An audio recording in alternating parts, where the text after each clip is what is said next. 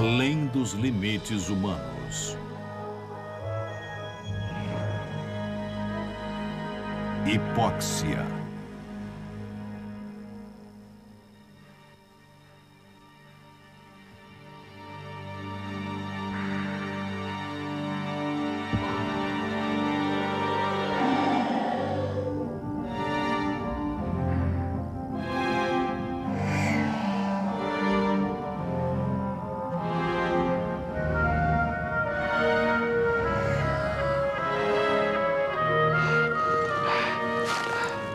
Altitudes superiores a 8 mil metros, o ar é tão rarefeito que forma bolhas inacessíveis em volta dos cumes mais altos da Terra.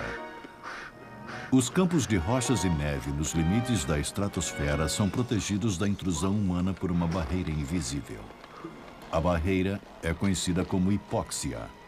Hipóxia significa falta de oxigênio, e ela age como um veneno traiçoeiro que sufoca não só os pulmões e músculos, mas também o cérebro. Trabalhando com 20 anos de diferença, dois cientistas pioneiros, Nicolas Jäger e Emmanuel Cauchy, decidiram investigar melhor este fenômeno.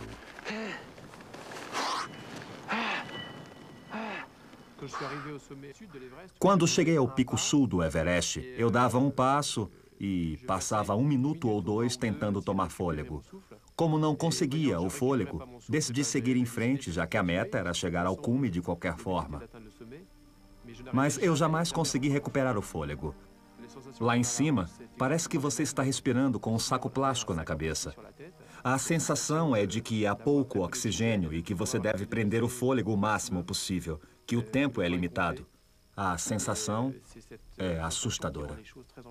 Em 1990, o Dr. Emmanuel Cauchy abdicou de sua tentativa de chegar ao cume do Everest para salvar sua vida. Desde então, tem investigado o campo das altitudes elevadas com uma abordagem médica. Durante suas investigações, se deparou com Nicholas Jäger, um pioneiro da hipóxia em ambientes de pouco oxigênio. Eu descobri Nicholas Jäger quando era muito jovem. Eu li seu livro aos 14 anos e percebi o quanto essa pessoa me fascinava. Ele compartilhava do meu interesse por atividades físicas, uma espécie de equilíbrio entre esforço físico e curiosidade intelectual. E eu gosto muito de praticar medicina de montanha por esta razão. Eu também gosto do lado excêntrico e aventureiro disso. E a chance de fazer algo que nunca foi feito antes.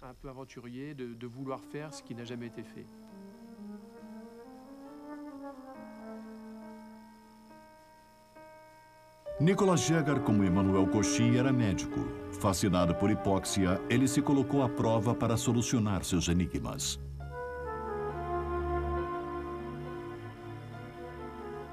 Teste de função respiratória. Em 1979, ele escalou o topo dos Andes, no Peru. Ele viveu a 6.700 metros mais tempo do que qualquer pessoa na história, submetendo-se a exames médicos todos os dias, apesar do frio e do desconforto.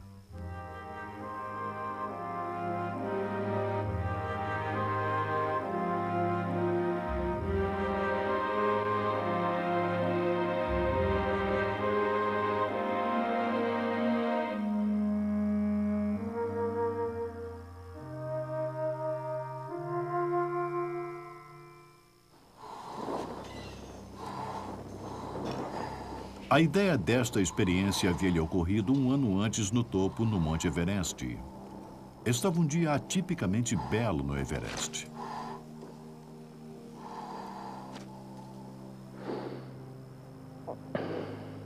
Com o peso de seus tanques de oxigênio nas costas, três franceses chegaram ao topo do mundo, 25 anos após a façanha histórica de Hilary Tenzing.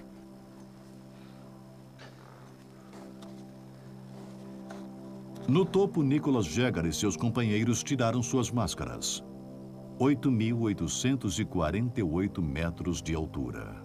O topo do Monte Everest é o mais próximo que um homem pode chegar da estratosfera. O ar é três vezes mais rarefeito do que o nível do mar. Em outras palavras, o corpo funciona com três vezes menos oxigênio do que o normal. Até a primavera de 1978, ninguém no mundo havia respirado aqui sem um tanque de oxigênio. Os especialistas diziam que era impossível.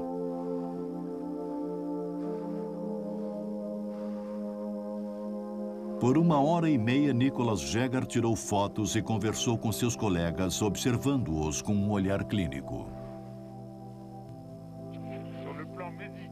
Foi interessante do ponto de vista médico. Fico surpreso que alguém se sinta tão bem assim nessa altitude. Estávamos sem máscara. Quando nos mexemos, ficamos completamente sem ar. Mas nenhum de nós está com dor de cabeça. Estamos muito confortáveis. Temos sorte por estar num clima tão bom. Não está frio. O sol é quente. Tem uma brisa vindo do norte. Mas estamos dois metros abaixo do sulco e mal dá para sentir.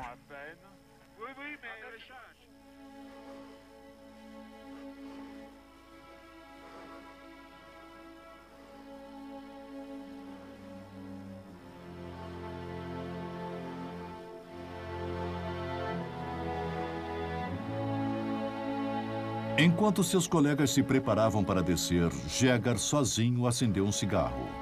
Foram os tragos mais altos do mundo. Não foi nada demais para ele, mas foi um importante indicador.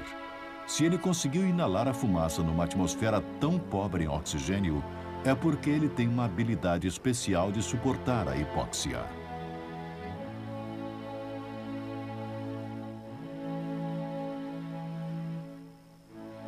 Naquele dia, seus horizontes mudaram. Ele decidiu que ia voltar ao Everest.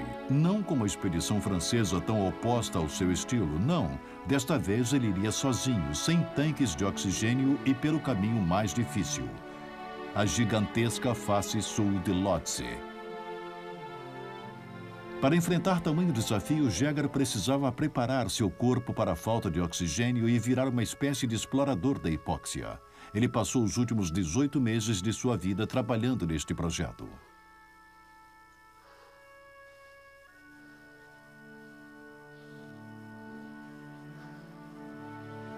Nicolas Jäger escala desde que aprendeu a andar e ele vive sua paixão como uma espécie de seriedade destemida. Primeiro, ele fez seu nome como alpinista quando ainda era estudante de medicina. Ele é seguro, rápido e solitário. Quando recebeu seu diploma de guia em 1975, havia sido o melhor de sua turma na Escola Nacional de Esqui e Alpinismo. Aos 32, este médico iniciante era simplesmente um dos melhores alpinistas de sua geração. Ele descobriu o alpinismo de altitudes elevadas no Peru, 5 mil metros, 6 mil metros, e logo sentiu-se à vontade com baixos níveis de oxigênio.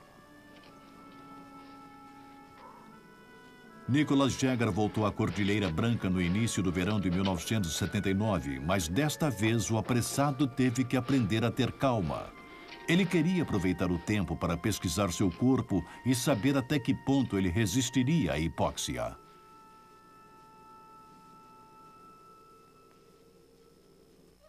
Sua meta era viver por vários meses no cume mais alto do Peru, o Ascaran, com vista para a cidade de Huaraz.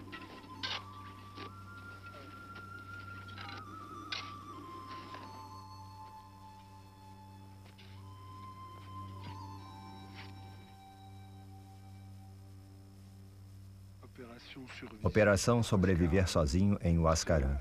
Sozinho a 6.700 metros no cume mais alto dos Andes, no Peru.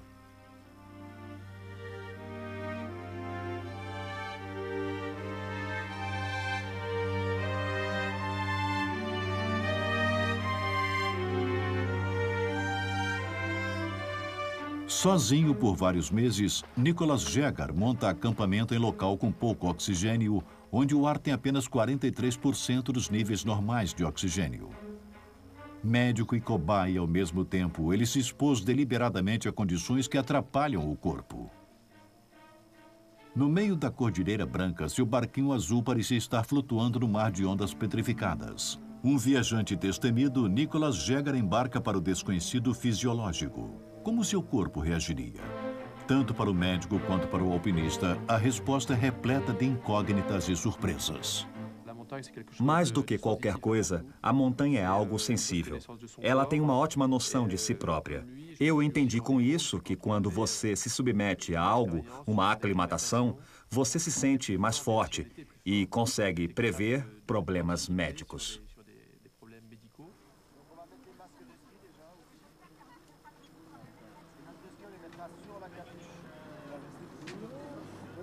Como se aclimatar?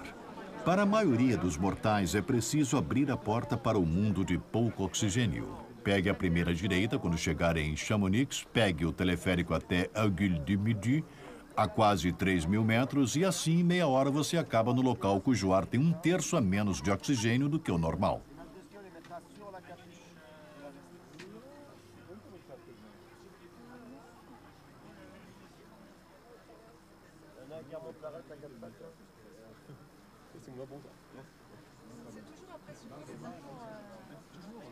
Francine e Virginie são enfermeiras que trabalham no hospital de Chamonix com o Dr. Cauchy. Todo dia, eles lidam com mal de montanha em seu trabalho e concordaram em escalar altitudes elevadas e descrever a experiência.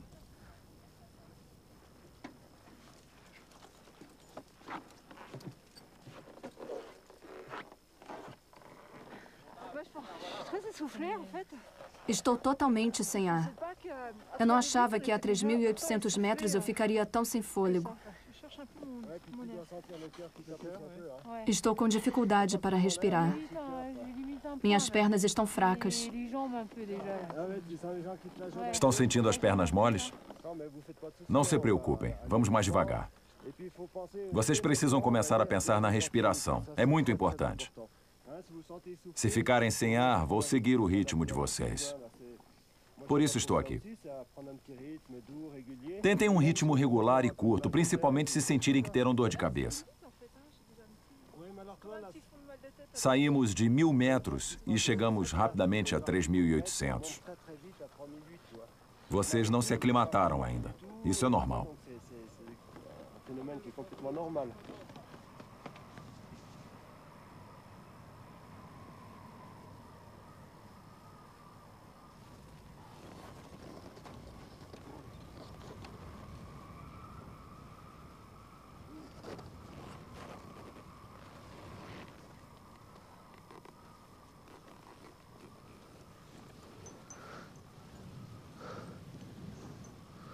Quando se entra numa atmosfera pobre em oxigênio, o corpo inicia uma espécie de plano de emergência. A respiração acelera e o coração bate mais rápido. Mas este reflexo protetor não é eficiente e consome muita energia. O corpo gasta seus recursos como um motor que está sendo acelerado. Para entender o mecanismo, é preciso olhar dentro do corpo.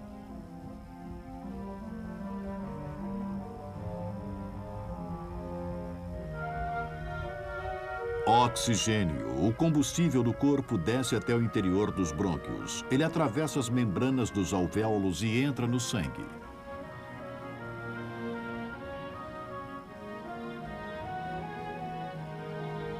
Os glóbulos vermelhos o transportam até o coração, onde o sangue é bombeado pela aorta e artérias para os órgãos e músculos. Quando falta oxigênio, o mecanismo para.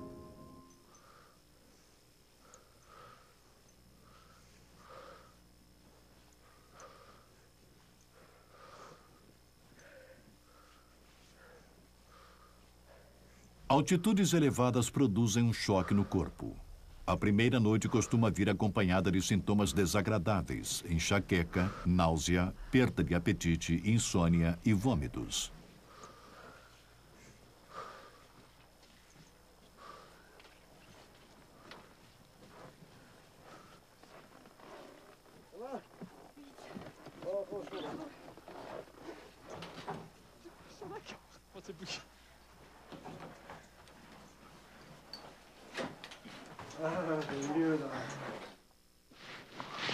Que dor de cabeça. Francine sabe que o processo de aclimatação começou no instante em que ela saiu do teleférico e que seus efeitos são desagradáveis.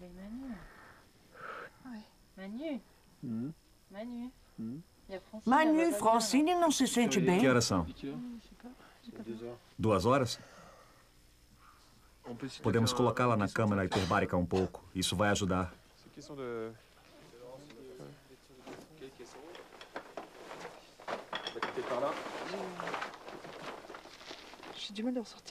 Não consigo respirar. Vomitei tudo e não sobrou nada. Tá? Voilà. Ça va bien, voilà. Là, t'as l'air, de toute façon, t'as suivi. Tu m'entends là? Ça va Ça va. Voilà, le principe. Tem que encher devagar, senão mets você passa mal. là. Tu peux déjà commencer à les mettre dessus. Ouais. C'est une zone de sécurité, mais. Ça va, Francine Tudo bem, Francine? euh, Originalmente, isso era feito para tratar pulmonaires. edema pulmonar. Usávamos apenas em casos de emergência. Pouco a pouco, percebemos que também podíamos usar para tratar o mal de montanha, quando as pessoas têm dificuldade na aclimatação. Séances. Podemos fazer uma ou duas sessões, durante a expedição ou durante a caminhada. Funciona bem. Fazemos tratamentos curtos com isso, antes que ocorram problemas mais graves.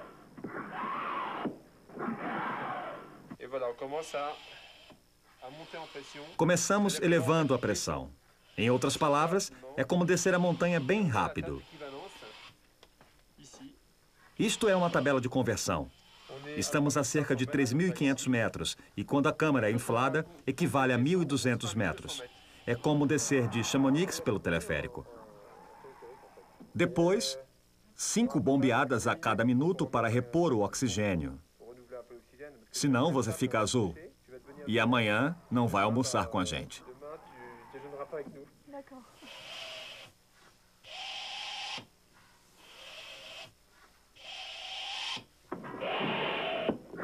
Para se adaptar à hipóxia, o corpo de Francine deu início a uma transformação dolorosa.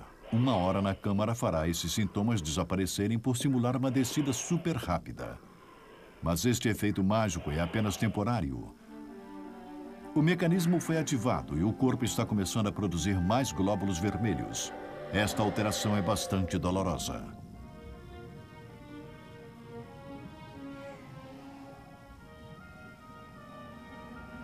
Dentro dos alvéolos, o sangue logo será capaz de absorver muito mais oxigênio. Após duas semanas, o corpo encontrará um novo equilíbrio. Nossos órgãos vitais respirarão melhor.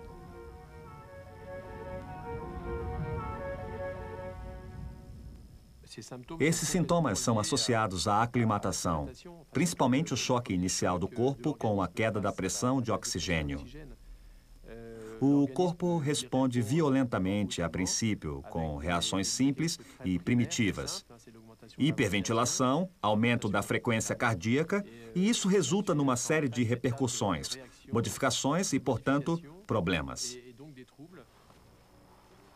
A frágil estrutura da aclimatação pode ruir até para os alpinistas mais experientes. Este Sherpa, sendo transportado quase inconsciente por seus companheiros, é uma vítima de hipóxia. Ele está sofrendo de um edema cerebral e não sobreviverá outro dia nesta altitude.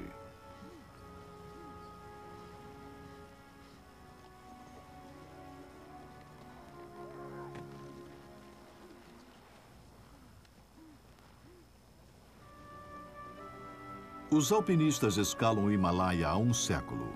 Mas até os anos 60, os médicos não tinham conhecimento do que acontece com o corpo nessas altitudes. Várias fatalidades permaneciam inexplicadas. Hoje, a hipóxia é melhor entendida. Sabemos que o edema é uma forma aguda e muitas vezes fatal do mal de montanha. Mas isso não impede os alpinistas de continuarem explorando altitudes elevadas, arriscando suas vidas. A hipóxia prejudica o metabolismo do corpo até mesmo em nível microscópico. Nossas células sofrem.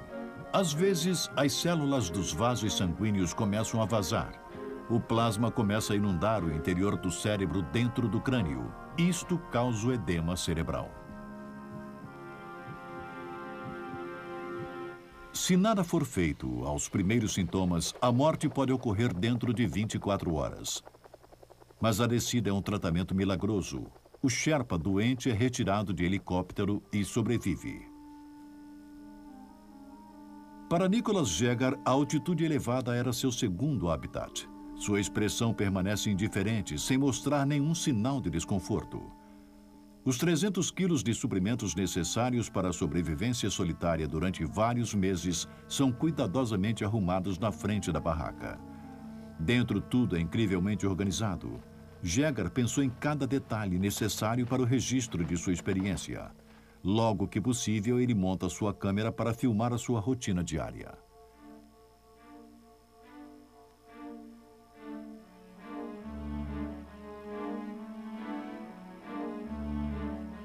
O médico cobaia está se adaptando bem. Uma vez por semana, apesar do frio, ele se despe para um eletrocardiograma. Todo dia ele realiza testes com sua respiração e registra vários detalhes no caderno para sua tese de medicina. Seu peso, alimento, observações sobre o sono e determinação. Ele trouxe alguns remédios, mas jurou não tomar nenhum a menos que fosse uma emergência. E ele mantém a sua palavra.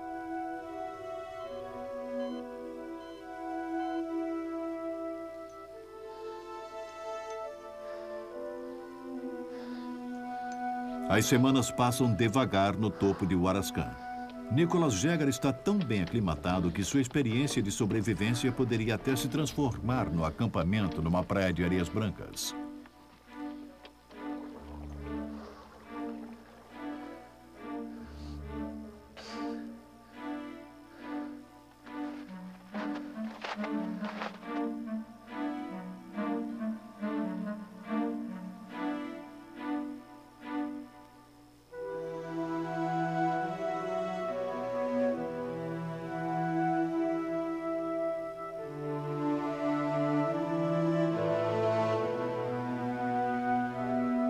Assim que o tempo permite, ele vai até o topo de Huarascan para desfrutar da magnífica paisagem.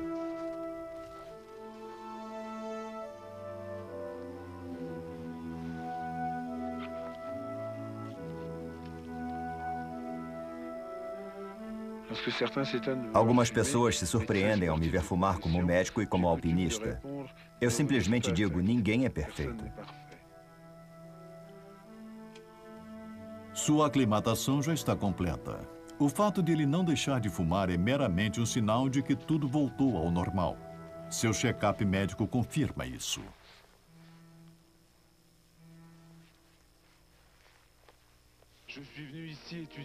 Eu vim aqui para estudar os efeitos debilitantes da altitude elevada e nada aconteceu.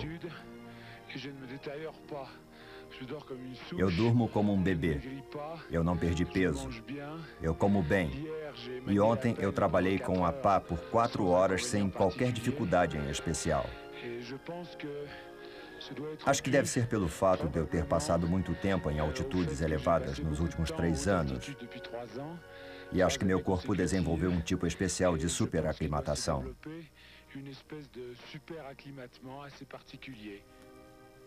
O Dr. Jäger acredita ter vencido a hipóxia. Mas sua experiência tem um ponto fraco. Ele é o único objeto de seu estudo e não pode observar a si mesmo objetivamente. Aqueles que seguirem seus passos ficarão gratos em corrigir esta falha.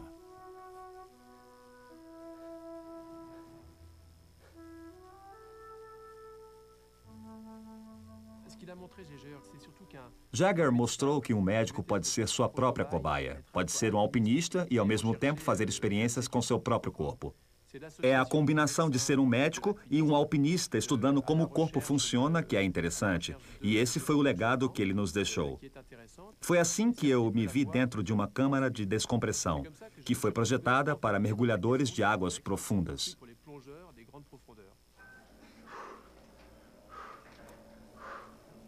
Em 1997, após várias experiências em altitudes elevadas, médicos que seguiram os passos de Nicholas Jäger desenvolveram um experimento para estudar a hipóxia em laboratório. Eles passaram cinco semanas em câmaras de descompressão para obter uma aclimatação gradual e progressiva à altitude virtual do Everest e permaneceram ali por uma semana seguida, apertados como sardinha em lata, sob o olhar atento do professor Jean-Paul Richelet. Como Jäger no Peru, o próprio Emmanuel Cauchy opera a câmera para registrar o experimento. Ele filma a si mesmo diariamente, mostrando seu rosto às vezes inchado pelo edema cutâneo. Hoje, a 6 mil metros, está difícil continuar gradativamente. Já sentimos os sinais de problemas, algumas marcas de irritação, que eu acredito que devem piorar. Mas acho normal e é preciso lidar com isso. O primeiro dia é sempre difícil por causa da aclimatação, mas isso vai melhorando a cada dia. Eu tô todo formigando, eu não me sinto bem, eu tô sem energia. Sua cabeça dói? É, eu tô com dor de cabeça, sim. É como as enxaquecas oftalmológicas que você tem?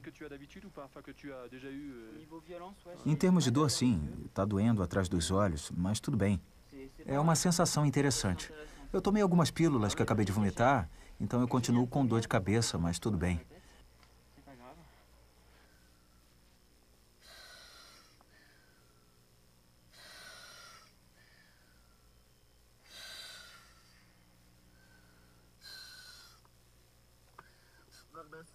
É uma aventura e tanto.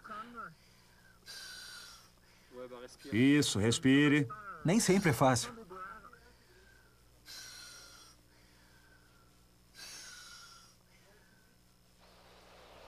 Após 40 dias, o clima em Huascarán mudou.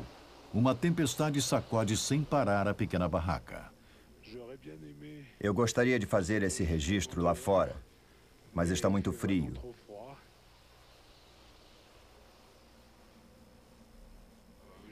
Eu perdi cerca de 2 quilos desde o início da experiência, o que é normal. Eu fiz um trabalho e tanto com os exames médicos. Coisas que, é claro, estão começando a ficar difíceis.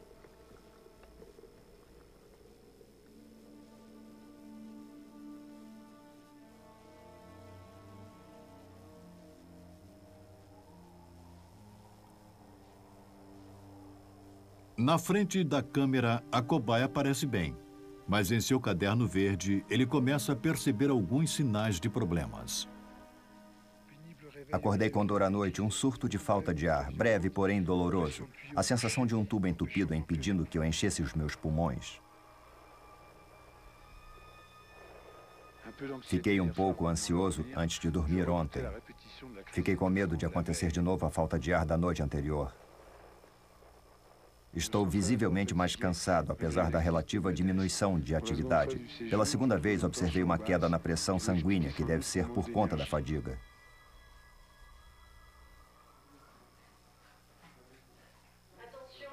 Atenção, vai!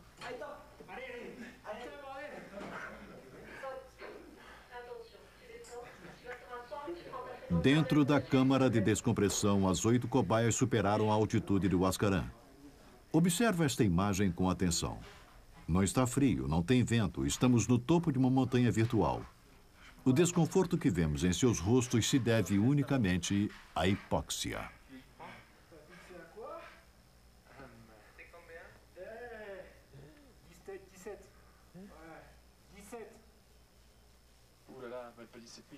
É, a marca de 7 mil é difícil.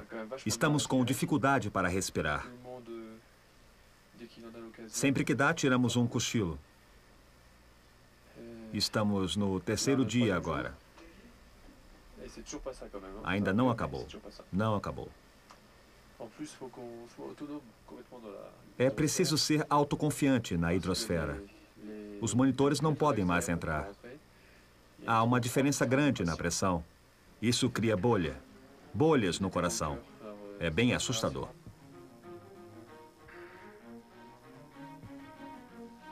A hipóxia desregula o corpo. É como se cada célula sufocasse e não pudesse mais desempenhar suas funções.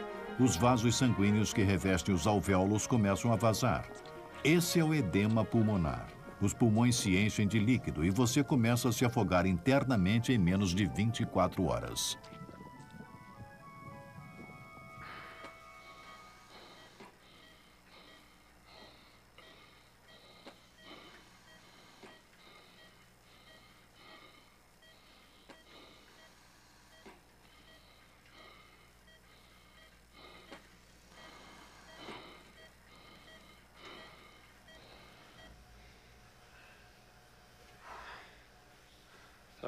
Tudo bem, Jeff?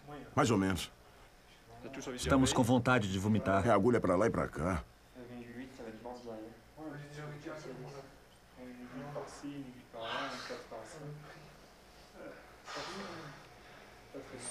Prélèvement à 8000 mètres, c'est euh. Uma amostra a 8 mil metros é morte súbita.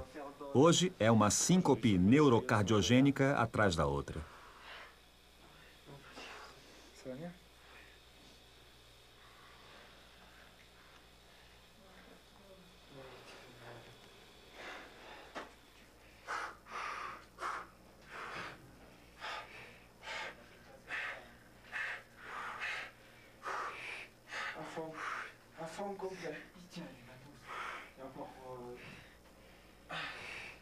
Complet. É totalmente.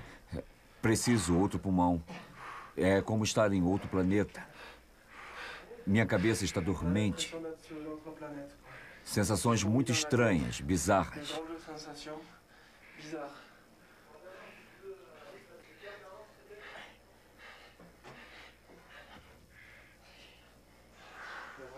drôles No verdadeiro Everest, no cume, ninguém fica lá tanto tempo.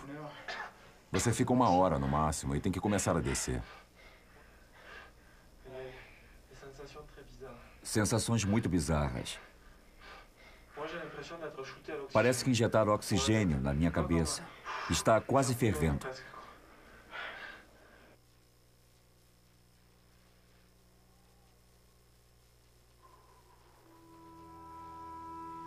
Implacável, Nicholas Jagger segue sua rotina empoleirado no cume da Cordilheira dos Andes. Ele quebrou o recorde de resistência em altitude elevada e nunca perde uma chance de comunicar que está tudo bem. Dois quilômetros mais alto do que o cume do Mont Blanc, a experiência continuou. Após semanas de tempestades durante as quais ele ficou preso dentro da barraca, ele sai ao primeiro sinal de tempo bom como se nada tivesse acontecido. A pilha de seu rádio acabou, não há mais nada para ler. Restou somente a monotonia da rotina diária: neve derretida, anotações e cigarro.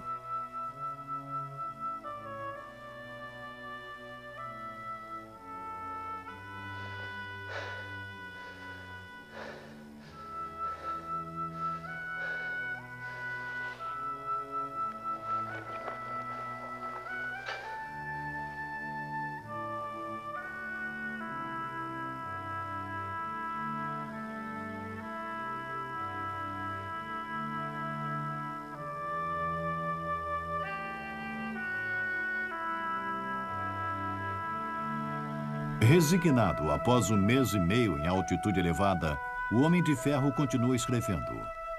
Nada irá impedi-lo de ganhar seu certificado por uma das mais audaciosas aventuras no Himalaia.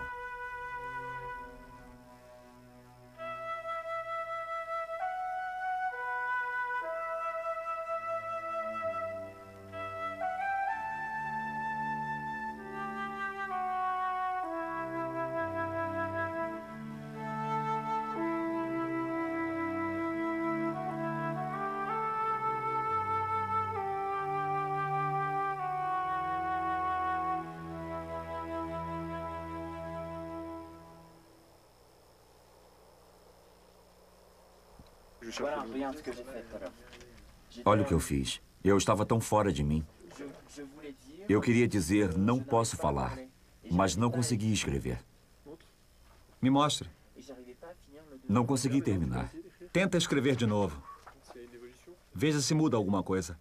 Na câmara de descompressão a 8 mil metros, os altinautas não conseguem mais se aclimatar. O corpo chegou ao limite de sua resistência. A falta de oxigênio e coisas bizarras começam a acontecer.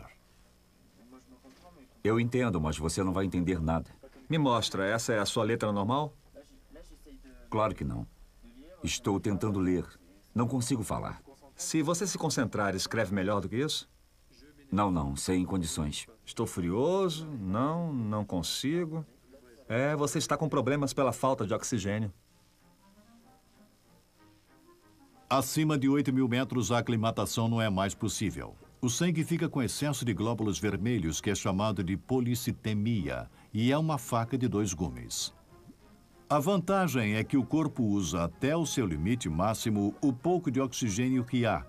E a desvantagem é que o sangue fica mais grosso e mais viscoso, prejudicando a circulação.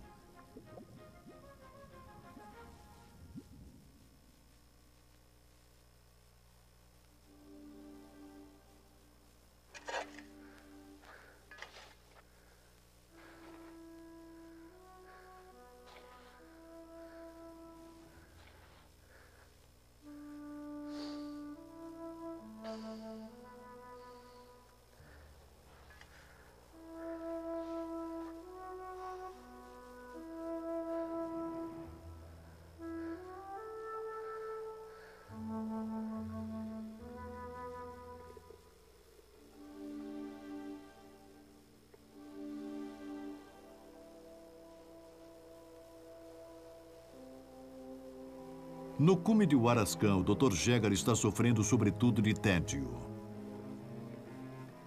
Em 15 de agosto, ele pensou nos turistas franceses presos nos engarrafamentos. Ele não fala com ninguém há um mês e meio. Sua esposa e duas filhas estão se preparando para voltar à escola a 10 mil quilômetros de distância. Ele alega estar feliz, mas sempre que a noite chega, ele fica apreensivo. Sozinho, no alto da atmosfera, ele escreve um livro intitulado Diário da Solidão.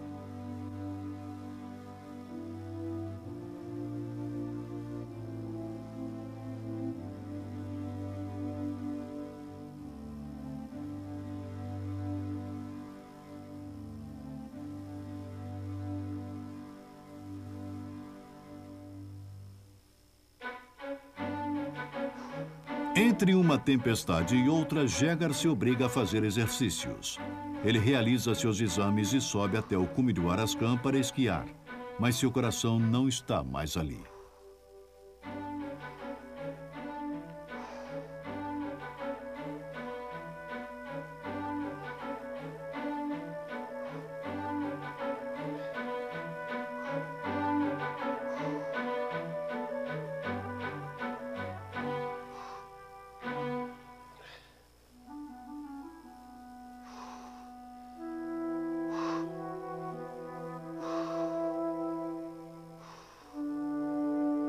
55 dias se passaram. Dois meses, dois metros de neve.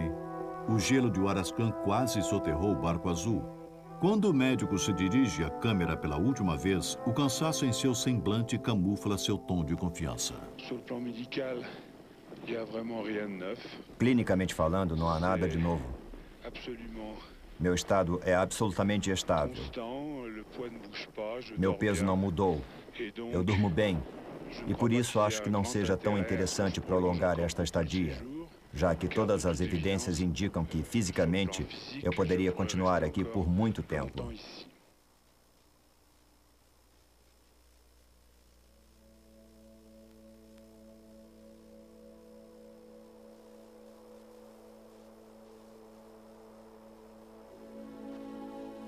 Após dois meses seguidos em Huarascan, Nicholas Jäger está pensando em outros cumes, e é claro, o do Monte Everest. Em maio de 1978, cinco meses antes de sua subida, Reinhold Messner e Peter Hebler foram os primeiros homens a alcançar o topo do mundo sem tanques de oxigênio. Em seus rostos podemos ver a tensão desse esforço à beira da asfixia. Mas há também um sorriso triunfante. Até o último momento, médicos especialistas previram que eles não voltariam vivos.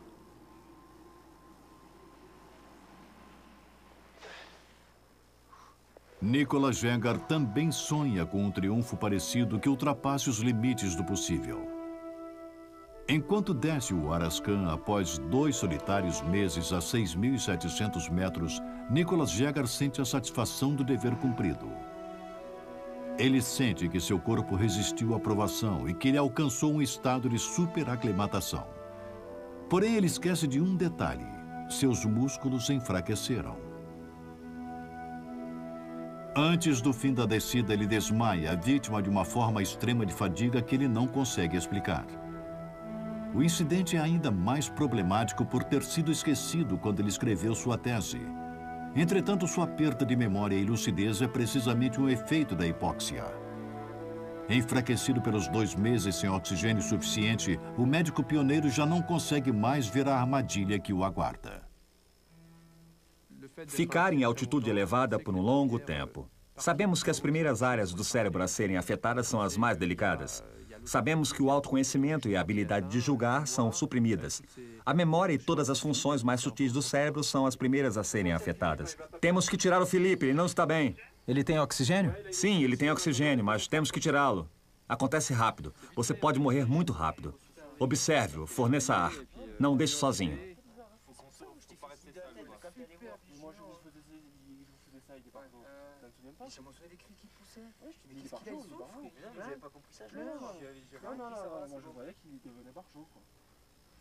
Você vai ficar bem? Qual é o meu nome?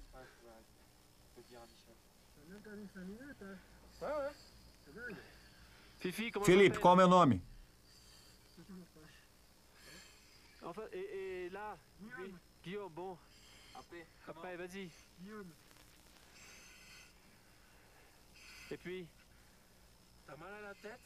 Está com dor de cabeça? Não, mas eu não sei mais o seu nome. Entendeu agora por que algumas pessoas morrem?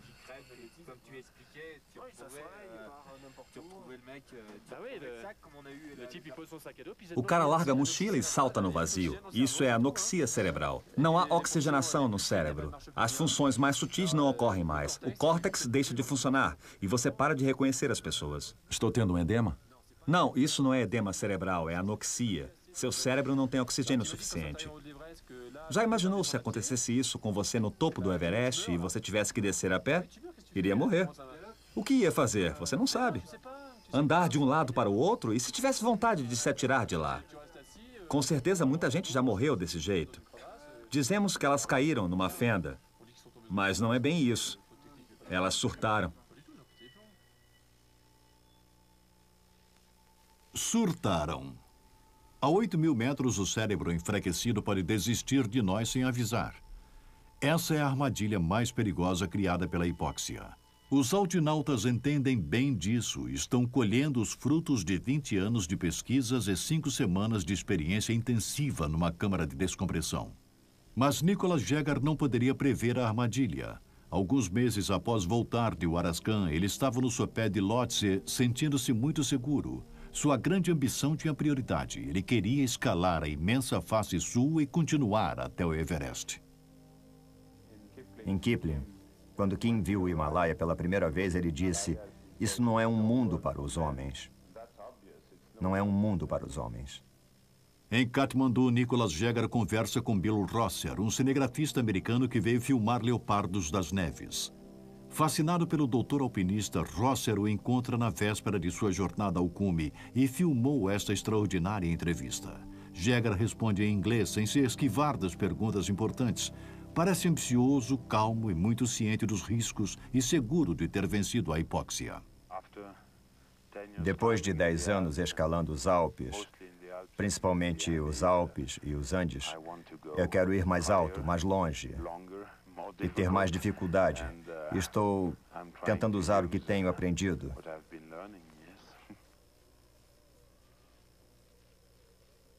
Eu tento fazer o melhor trabalho possível. Eu não digo trabalho como algo desagradável, mas como algo agradável. É muito prazeroso quando você consegue, quando você chega ao topo. Foi exatamente assim quando eu estava no topo do Everest. Eu concluí meu trabalho, completei meu trabalho e foi uma sensação muito prazerosa.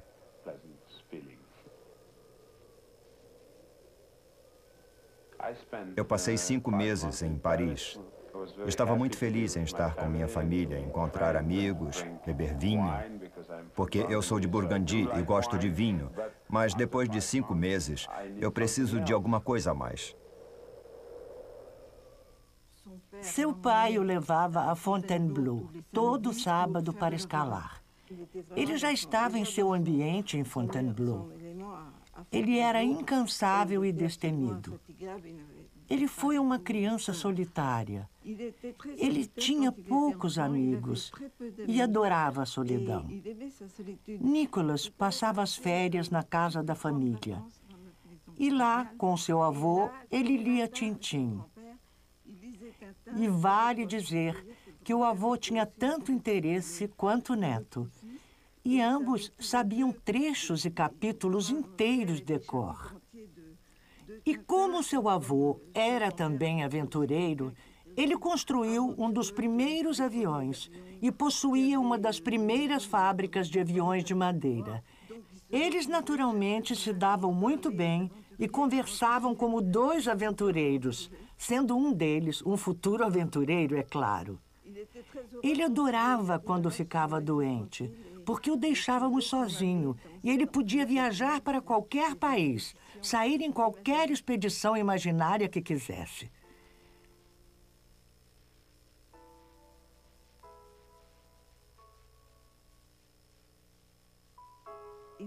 Ele não era meigo. Talvez porque tenha puxado a mãe. Nós tínhamos um relacionamento muito bom. Ele não falava muito.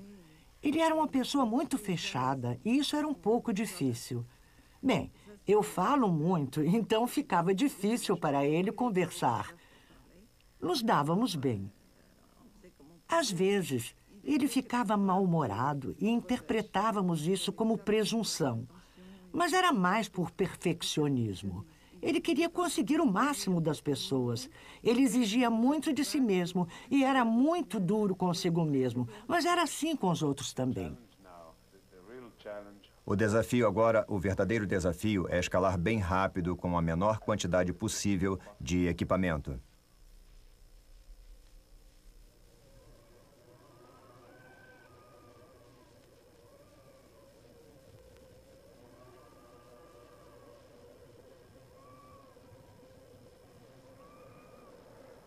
Eu tenho que voltar em dez dias. Afinal, posso sobreviver por vários dias, mas não além disso. Eu tenho que voltar. Eu não posso ultrapassar duas semanas. De alguma forma, será possível para você receber assistência de fora? Não. Realmente eu não conto com isso. Eu estarei a mais de 7 mil metros. Não dá para imaginar alguém indo me procurar. Sabe, a montanha é tão grande que é preciso estar extremamente preparado. Eu estou vivendo aqui há um mês, no sopé de Lhotse, e eu estou começando a me acostumar. Eu estou pronto para ir e feliz com isso.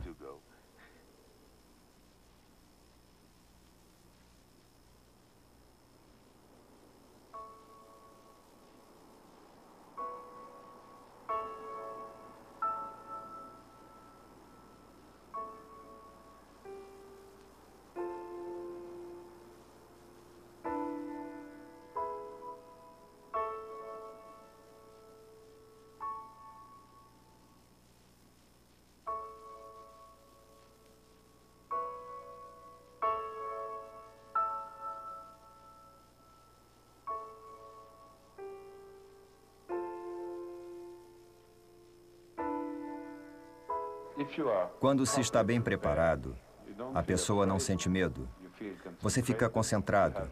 Você tem uma muralha para transpor. Você faz o seu melhor. Não é exatamente medo. É muito diferente.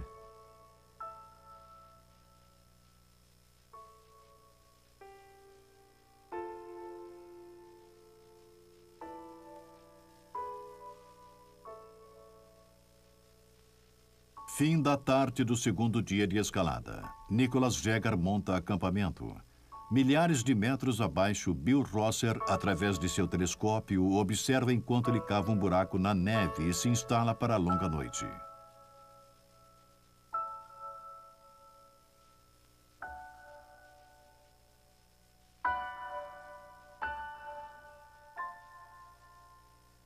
No dia seguinte, o cinegrafista segue um pequeno ponto nos declives congelados que ficam cada vez mais íngremes, até que um véu de neblina o encobre completamente.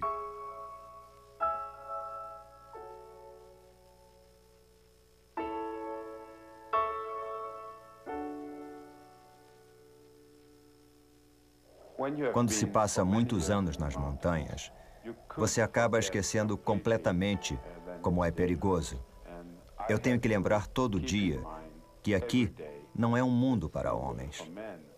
Se esquecer disso, é como se você baixasse as mãos no boxe. É fim de jogo. É muito simples. E é muito rápido.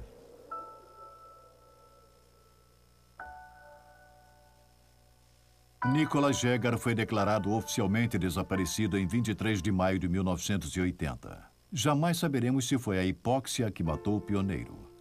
O fato é que ele ajudou os médicos a estabelecerem o grau em que as altitudes elevadas são mortais, onde o homem não pode sobreviver por mais de 12 horas sem o auxílio de tanques de oxigênio. Hoje, inúmeros alpinistas seguem os seus passos, que vão até 8 mil metros no limite do mundo terreno. Alguns vão desaparecer. E seu único epitáfio será o poema de Baudelaire, As Queixas de um Ícaro. Eu quis do espaço em toda parte achar em vão o fim e o meio. Não sei sob que olho digno veio, minha alma eu sinto que se parte.